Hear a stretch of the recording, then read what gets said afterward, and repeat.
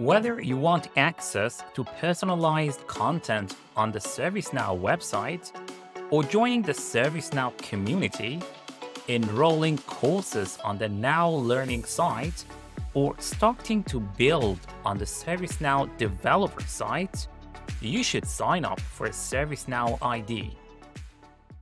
Simply put your name and an email address, preferably your corporate email, so that you can benefit from the entitlements.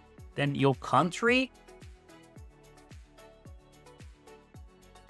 and a password that matches the listed criteria.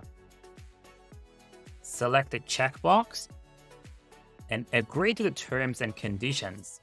You will then receive a confirmation message and an email with a link for verification.